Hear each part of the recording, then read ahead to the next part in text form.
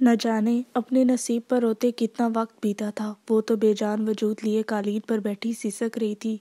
न जाने ऐसा क्या गुना हो गया था कि जिसकी उसे सज़ा मिल रही थी।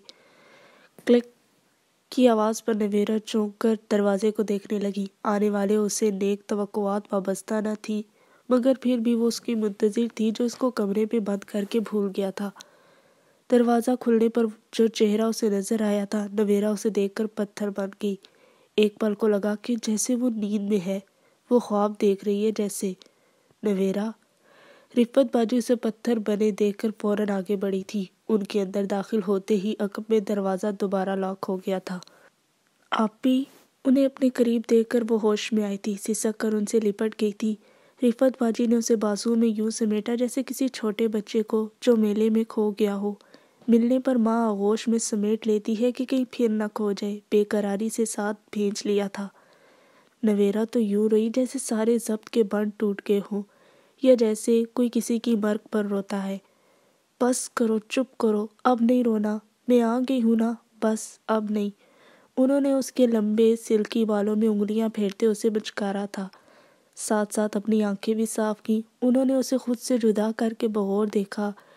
हसन गहना गया था। जर्द मुरझाया चेहरा, मुसलसल गरियावजारी से सुर्ख आँखें, कपकपाते होंठ, बिखरा वजूद।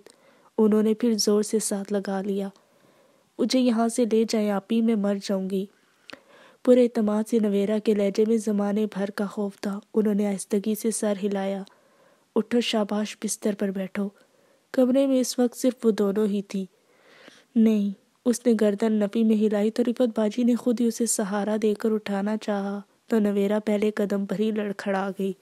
खुद पर बीतने वाली क्यामत ने उसके अंदर से सारी कुतें छीन ली थी। न जाने कब की भूखी थी, भूख, प्यास, नींद, सेहनी झटकों ने उसे बेबस कर दिया था। रिफत ने उसे बमुश्किल संभालते हुए बिस्तर पर लेटाया था। नवेरा? नवेरा की पेशानी पर हाथ रखते उन्होंने आवाज़ दी तो मुसलसल बहती आँखें खोलकर उसने उन्हें देखा। होश करो मेरी जान। इस तरह हाथ पाँव छोड़ दोगी तो बहुत मुश्किल होगी। कमरे में खाने पीने को कुछ नहीं है क्या? कैसी जर्द हो रही हो तुम? ठहरों, में पानी देखती हूँ।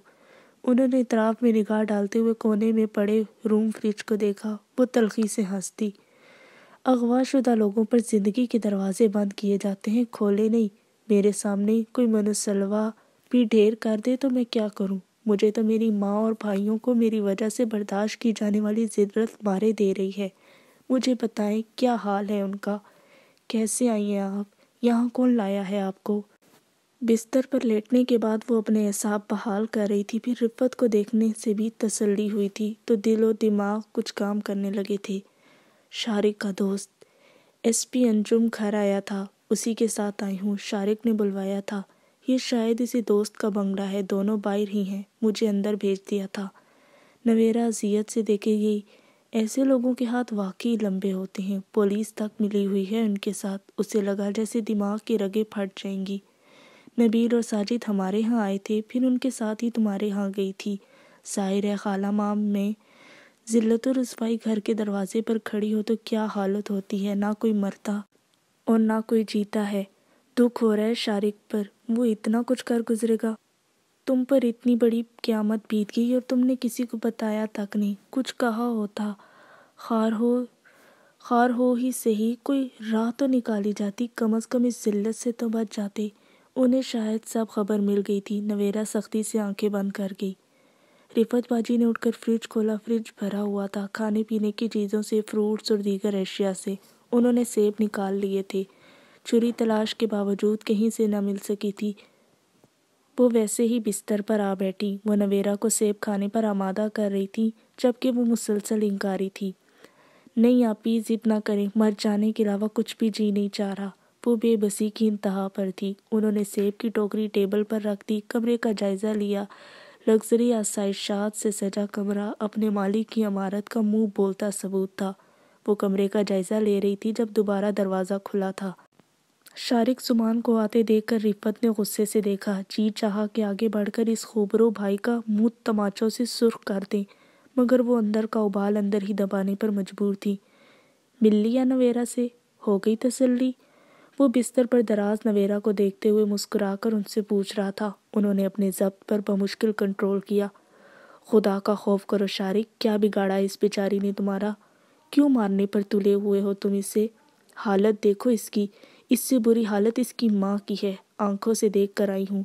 कैसी तड़प रही है वो बेटी के लिए। कोई पत्थर भी हो तो देख कर मोम हो जाए। उनकी आवाज़ रुन गई थी। आपको मैंने नसीहतों के लिए नहीं बुलवाया, नवेरा के लिए ही बुलवाया है। समझाएँ इसको। अब जो हो चुका भूल जाए। मैं आखिरी कदम उठा चुका हूँ। वापसी का रास्ता न इसके पास है और न मेरे पास। कुछ खिलाए पिलाए रात तक बहाल करें इसको। रात को तकरीब तय है फ़ोन पर सारा कुछ बता तो चुका हूँ। नवेरा उठकर बिस्तर पर बैठ गई। पथराई निगाहों से शारिक जुमान को देखे गई। टांगे बिस्तर से नीचे लटकाए, वो गुमसुम सी हो गई थी। रिफत की आमद से वो कुछ पर उम्मीद हुई थी कि अब जिंदान से वापसी की कोई कोशिश होगी। मगर ये सियात तो सब रास्ते ही बंद कर चुका था। भला जालिम से भी रहम की तवक्को की जा सकती थी। शारिक ऐसे कैसे हो सकता है ये सब? ख़ानदान का मामला है, बात बहुत बढ़ जाएगी। हम दरमियानी राह भी तो निकाल सकते हैं। ठीक है, तुमने ये इंतहाई कदम उठा लिया है, मगर ये उठा हुआ कदम वापस भी तो हो सकता है। मसलन कैसे? वो ठंडे ठार लहजे में बोला। मैं नवेरा और खाला जान सबको समझाऊँगी।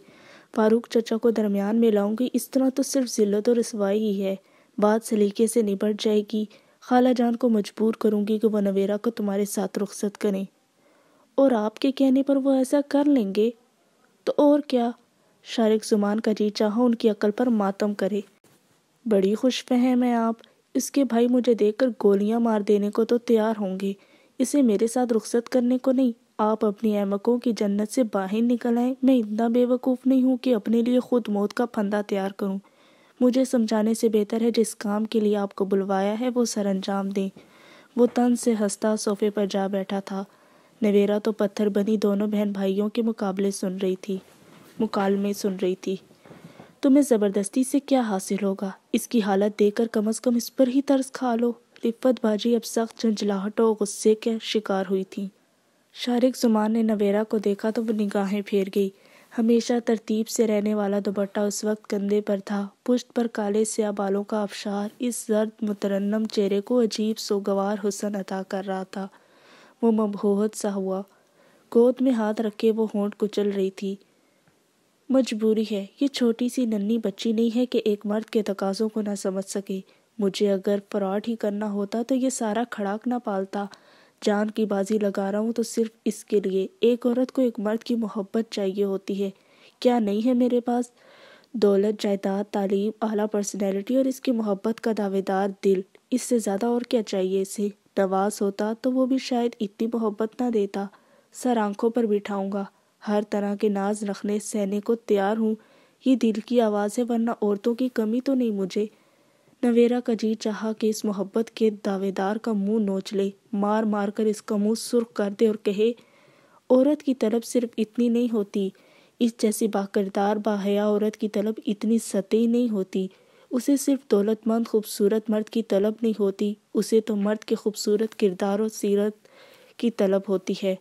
और अगर ऐसा मर्द मोहब्बत का दावा करे तो औरत उस पर सब कुछ वार देती है। और अगर मर्द ऐसी औरत की पाकबाजी और बाहयाई की तारीफ़ करे तो वो खुद को ही उस पर दान कर देती है।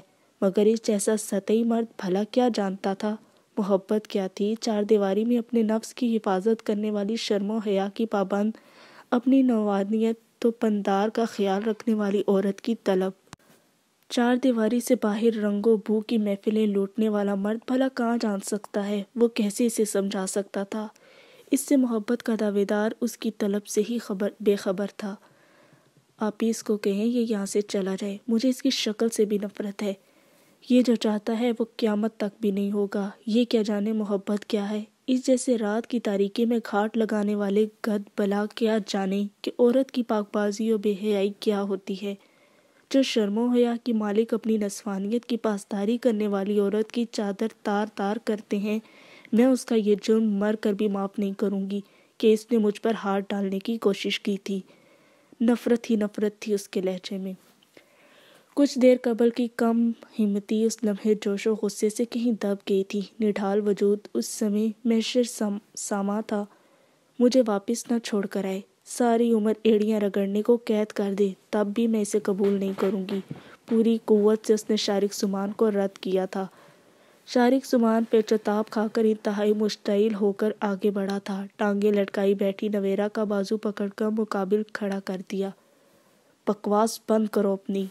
वो फंकारा था। बस नहीं चल रहा था कि कुछ कर गुजरे। रिफत बाजी अम्मी के देवर देख कर दहल गई। शारिक, छोड़ो तुम क्या करते हो? शारिक ने रिफत बाजी की तरफ़ मतलब ध्यान न दिया। तुम्हारा क्या ख्याल है? तुम इस वक्त बाइज्जत खड़ी हो तो कोई तुम्हारा कमाल है? भूल है तुम्हारी। मर्द जितना भी बद किरदार किसी भी फितरत का हामिल हो, वो अपने लिए औरत हमेशा पाकबाज ही चाहता है। मैं जो हूँ, जैसा हूँ, मुझे इल्म है अच्छा या बुरा। मैं गलत कदम का मरतकब हुआ हूँ और उसका भुगतान भुगतने को तैयार इतने घंटे हो गए हैं, तुम मेरे पास हो। गलती एक दफ़ा हुई है बार बार नहीं। अगर मैं उस वक्त भी महज दिल के बहलावे या शैतान के बहकावे में होता तो अब तक तुम अपना मुँह छुपा रही होती। समझी अहमक बेवकूफ़ लड़की। मर्द अपनी गलती संवारने की कोशिश नहीं करता। तुम्हें समझ में क्यों नहीं आ रही? रिफ़त तो एक तरफ़ नवेरा तक उसकी गिरफ्त से खाइफ हो गई थी। मैं तुम्हारी धमकियों से नहीं डरने वाली। भरपूर मुजामत करके उसने बाजू छुड़ाना चाहा, मगर उधर तो फौलादी गिरफ्त थी। और मैं कहे पर अमल करने वाला हूँ। वो तो खुद एक सेकंड में भी निढाल होने लगी थी। उसे फंकार पर वो बेजान सी होने लगी थी। शारिक, क्या बदतमीजी है? कुछ तो शर्मो हया करो। ये सारी घूल कर पी चुके हो। रिफत बाजी नवेरा को बेजान होते देखकर पुकारी थी। आप बाहर जाकर बैठे, मुझे इससे थोड़ा बहुत हिसाब किताब करना है, समझाना है। आप तो किसी काम के नहीं, गलती की बुलवाने की। उल्टा ये मुँह को आ रही है। उसी तरह नवेरा का बाजू दबोचे, उसने उन्हें चले जाने का हुक्म दिया था। आपी नवेरा मचल उठी। मैं नहीं जा रही, तुम निकलो। ख्वाम खा बेचारी को तंग कर रहे हो। उसकी हालत देखो। उन्हें में समझ में नहीं आ रहा था कि शारी को कैसे समझाएँ। और इस बेचारी ने जो मुझे तंग किया हुआ है, वो शारिक के तेवर देखकर वो पथरा सी गई थी। अंजुम, अगले ही पल शारिक ने किसी को आवाज़ दी थी। उसका दोस्त अंजुम फ़ौरन अंदर चला आया। तुम आप ही को बाहर ले जाओ। इनकी तवाज़ो करो। मैं एक दो मिनट में आता हूँ। रिफत आपी तो गंग सी रह गई, फिर अगले ही पल अंदाज़ा लगा लिया का उनका ललकार, ललकारना शारिक को जिद दिला सकता है। शारिक प्लीज़ इस बेचारी पर रहम कहो ठीक है, मैं बाहर चली जाती हूँ, मगर इसको तंग नहीं करना। पहले ही बुरी हालत हो रही है इसकी। कोई ऐसी वैसी हरकत नहीं करना, उन्होंने तंबी की थी, वो खुलकर हंसा। काश मैं कोई ऐसी वैसी ही हरकत कर सकता, फिर बोला इत्मीनान रखिए, अब ऐसी वैसी हरकत बाकायदा कानूनी कार्रवाई पूरे करके ही करूँगा। उसका मूड पल में बदला था। छलमलाती निगाहों से नवेरा को देखा, वो अपना बाजू छुड़ाने को भरपूर मचल रही थी। रिफत बाजी के बाहर निकलते ही अंजुम ने उसके इशारे पर दरवाज़ा बंद कर लिया था। अब कमरे में सिर्फ़ वो दोनों थे। हाँ अब बोलो, बड़ी ज़ुबान के जौहर दिखा रही थी तुम। मुझे भी तो पता चले कैसी होती है पाकबाज औरत और मुझ जैसे करप्ट इंसान। झटका देकर उसे बाजू, बाजोर की गिरफ्त में लिए। वो खासी संजीदगी से बोला था। नवेरा जो पहले ही निढाल थी उसके देवर देखकर सहम गई। सहमी हिरनी जैसी काली सी आँखें टपाटप बरसने लगी। बोलो, अब चुप क्यों हो? रोक सकती हो मेरे हाथ? बोलो। नर्म गोश्त पर उसके आनी हाथों की ग्रिप थी, ऐसी थी कि वो बेख्तियार सिसक उठी छोड़ो, प्लीज़ प्लीज़ छोड़ दो। लव्स टूट कूट कर उसके होंठों से निकले थे। दुबट्टा तो न जाने कब का कदमों में जा गिरा था। पुष्ट पर बिखरे काले से आबशार ने पूरे वजूद को घेरे में ले लिया था। शारिक चंद सानिया उसे बगौर देखता रहा था। उसका सिसक सिसक सिसक कर बलकना दिल में शगाफ डालता चला गया था। नवेरा, तुम अगर मुझे गलत समझोगी तो मेरे अंदर की दहशत को आवाज़ दोगी। मर्द कितना भी बुरा हो, वो अपनी औरत के मुँह से अपने लिए हमेशा अच्छाई सुनना चाहता है। तुम क्या जानो मेरे लिए क्या हो? आग का समंदर तय किया है तुम्हारे लिए पागल लड़की। मेरे पागलपन को गलत निगाह से देखोगी तो नुकसान उठाओगी। तुम्हें दिल ने सिर्फ़ अपना ही नहीं माना, खुद को भी तुम्हारा बनाया है। मैं कल गया था। मुझे नहीं पता हाँ तुम्हें ज़िंदगी में शामिल करने के बाद सिर्फ़ तुम्हारा बनकर रहूँगा। यकीन करो बेतबार लड़की, तुम्हारा हसूल मेरे लिए कतई मुश्किल न था, न कल और न आज। वो आँखें बंद किए महवे कलाम था। नवेरा किस्मत साई तो वो जैसे होश में आया। लचकीली शाख की तरह उसके बाजुओं में ही झूल गई थी। नवेरा, उसके हिसाब इतना बोझ सह नहीं पाए थे। उसे आवाज़ खोते देख कर पुकारा था, मगर नवेरा तो शारिक के खौफ से ऐसी बेखुद हुई थी कि पुकारने के बावजूद पलकें वाह करने की हिम्मत ना कर पाई थी। कभी किसी को मुकम्मल जहाँ नहीं मिलता, कहीं ज़मीन तो कहीं आसमान नहीं मिलता। बिछा सका है भला कौन वक्त के शोले? ये ऐसी आग है जिसमें धुआँ नहीं मिलता। तेरे जहाँ में ऐसा नहीं कि प्यार ना हो, जहाँ उम्मीद हो, उसकी वहाँ नहीं मिलता। नवेरा के इनकार के बाद तो रजा हमीद तो जैसे सारे हौसले हार गया था। दुख ये नहीं था कि जज्बों को बेजेराई नहीं मिली थी। दुख तो ये था कि बहुत चाहने के बावजूद वो नवेरा के सामने जाकर राज़ी दिल अरिया ना कर सका था। दुख ये नहीं था कि उसके लिए बैक वक्त शारिक सुमान का प्रपोज़ल आया था। दुख तो ये था कि वो उसे एक कज़न, एक भाई से बढ़कर कुछ समझने को तैयार ही ना थी। ऐसे हालात में जबकि उसे नवेरा का हसूल बहुत आसान लगा था। नवेरा के इनकार ने उसको अंदर से तोड़ दिया था। वो गुमसुम सा हो गया। दूसरी तरफ़ रिमशा जावेद को अगले दिन ही नवेरा के इनकार का सुनकर धचका लगा। रज़ा के हवाले से नवेरा से लाख बेर खास खास से ही, दिल में बुख से ही, मगर उसने उसकी बर्बादी का कभी सोचा ना था। हुमेरा को फ़ोन आया तो वो फूट फूट कर रोई थी। उसके आँसू उसके दिल का बोझ बढ़ा गए थे। न जाने नवेरा की क्या हालत होगी, वो सोच सोच कर हारी थी। खानदान भर में जो शादी के हंगामे थे, सर्द पड़ चुके थे। हर कोई दम साथ गया था। वो दो दिन उसी गम में मुबतला रही थी। रज़ा हमीद पर नज़र पड़ी तो वो निगाह फेर लेती, मगर उस वक्त तो हद हो गई थी। उसने हुमेरा को कॉल की थी इर्द गिर्द के हालात से आगाही के लिए, मगर हुमेरा ने तो उसके हिसाब पर बम फोड़ा था। तुम्हें इल्म ही नहीं और इतना कुछ हो गया है। चची जान ने रज़ा का प्रपोज़ल दिया है।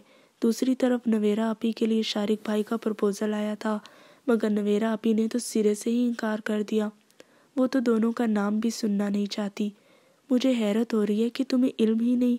दो दिन पहले की बात है और तुम इतनी बेबखबर हो।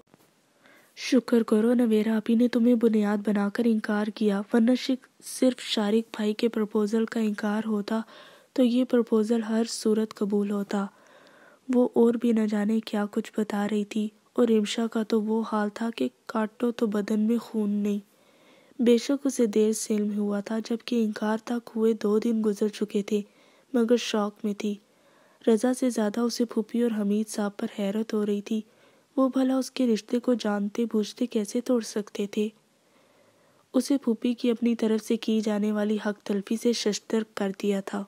वो मुसलसल गुमसुम सी कमरे में बंद थी कया सोचने समझने की सलाहियतें ही सलब हो गई हों। अगर नवेरा सचमुच हाँ कर देती तो इस ख्याल से उसका दिल डूब डूब कर उभरा था। आँखें जलथल हो गई थी तो एहसास हुआ कि रज़ा की मोहब्बत उसके वजूद को कैसे गिरफ्त में लिए हुए है। शाम तक वो इस इंकशाफ पर हैरत सदा रही थी। आने वाला कल उसके जहन में दस्तक देने लगा। उनके यहाँ मेहंदी माइयों की रस्में गैर इस्लामी और फजूलियात शुमार करके अदा नहीं की जाती थी। हाँ शादी की तकरीब खासे वसी पैमाने पर अदा की जाती थी कि लोगों के सामने ये शर्य अमल सर अंजाम दिया जाए। वलीमा भी दुल्हा वाले खासे वसी पैमाने पर अरेंज करते थे। आज रात अगर नवेरा होती तो माइयों की तकरीब होना थी, जो कि वो लोग कभी करते ना थे।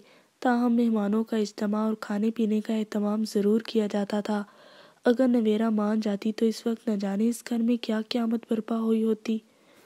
उसकी समझ में नहीं आ रहा था कि नवेरा के ख़ानदान पर बीतने वाली क्यामत पर दुख मनाए या नवेरा का रज़ा के इनकार कर देने पर खुश हो। शाम के साय गहरे हुए तो हमीद साहब और जुबैदा बेगम, खालदा बेगम के हाथ चक्कर लगाने का कहकर चले गए थे। रज़ा न जाने कहाँ निकला हुआ था। पिछले दिनों से वो खासा डिस्टर्ब रहा था। वो तो सिर्फ़ यही समझी रही, समझती रही थी कि वो नवेरा के इनकार का दुख बना रहा है, मगर क्या पता था कि उसकी वजह होगी। वो खामोशी से लाउंज में बैठी आने वाले हालात का तजिया करती रही थी। कॉल बेल की आवाज़ पर उसने जाकर दरवाज़ा खोला तो रज़ा था। अम्मी अबू कहाँ घर में खामोशी महसूस करते उसने रिमशा को देखा। खालदा चची के यहाँ गए हैं। शायद उनकी तबीयत ख़राब है और फिर आज तो वैसे भी सारे ख़ानदान के बुज़ुर्ग उनके यहाँ इकट्ठे हो रहे होंगे। ज़ाहिर है शादी से इनकार, वो भी एन शादी के करीब, किसी क़यामत से कम तो नहीं। वो मुजमिलो पर मलाल सी बता रही थी, रज़ा ने कुछ ताज्जुब से उसे देखा। वो हकीकतन रंजीदा थी। उसके दिल में गमो तरह करवटें लेने लगा। नवेरा की ज़ात का इस तरह तशहर पर उसका जब्त तूफ़ानों से दो चार था। मज़ीद उसका इनकार किसी खंजर से कम ना था जो उसके दिल को गाहे बगाहे ज़ख्म ज़ख्म कर रहा था। रज़ा थके थके अंदाज पर सोफे पर गिरा तो रिमशा ने उसे तरहम निगाहों से देखा।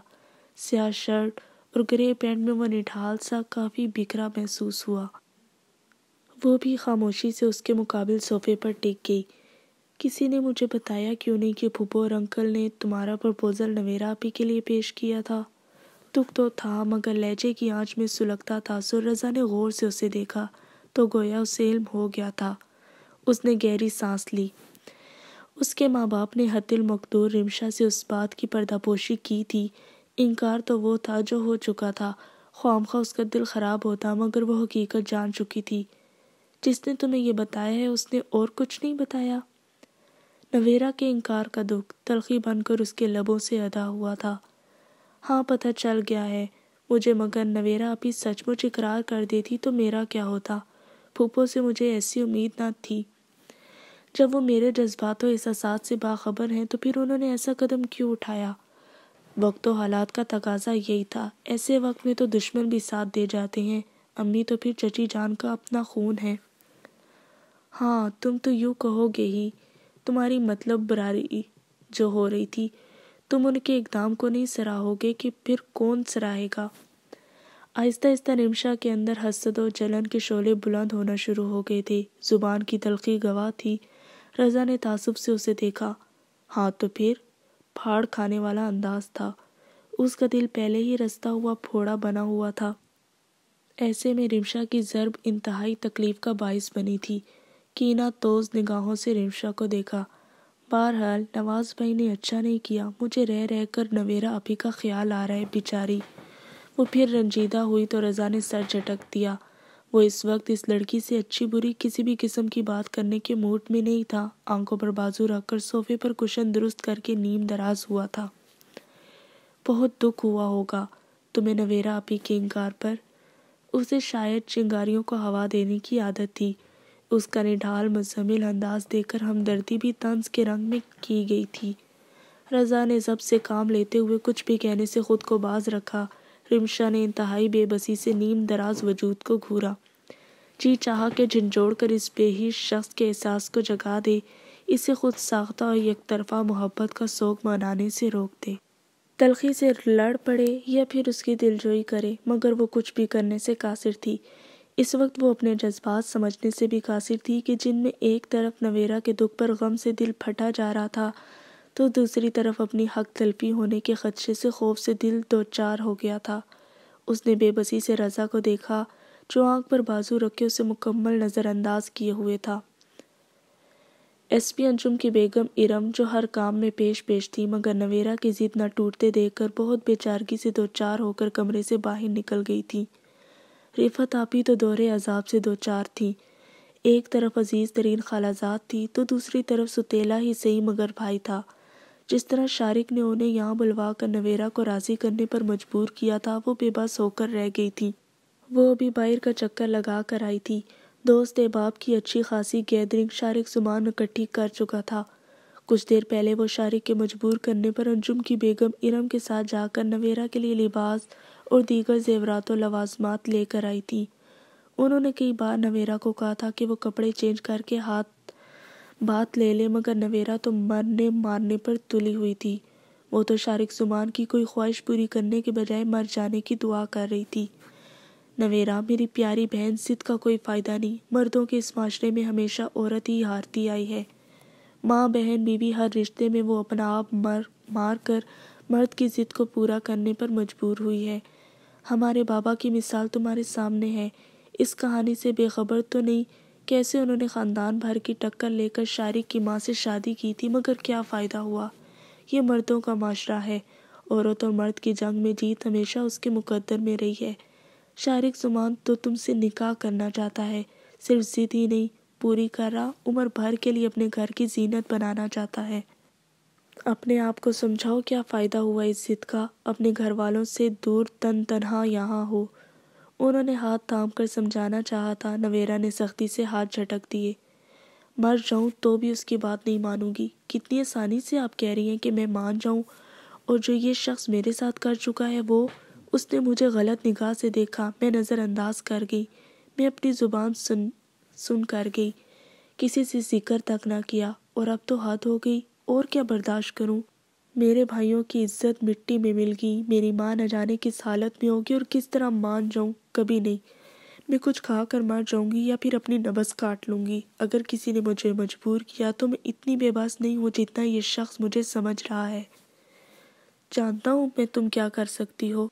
रिफत बाजी ने फ़ौरन पलट कर देखा, दरवाजे में एस्ता, वो शारिक जुमान खासी बिगड़े तेवर लिए खड़ा था। आपा मुझे बहुत अफसोस हो रहा है। आपको इसीलिए बुलवाया था कि बैठकर वक्त ज़ाया करें। मेरे पास बिल्कुल वक्त नहीं है। भाई लोगों को बुलवा कर बिठाया हुआ है। इसे तैयार करवाएँ। वो अंदर बढ़ आया था। रिफत बाजी को एकदम गुस्सा आया। तुम्हारा भी कोई जवाब नहीं। शायद ही कोई भाई अपने जुर्म में बहनों को इस्तेमाल करता हो।